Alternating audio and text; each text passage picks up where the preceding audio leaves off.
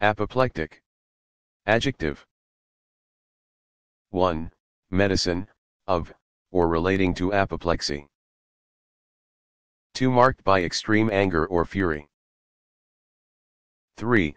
Archaic, effused with blood.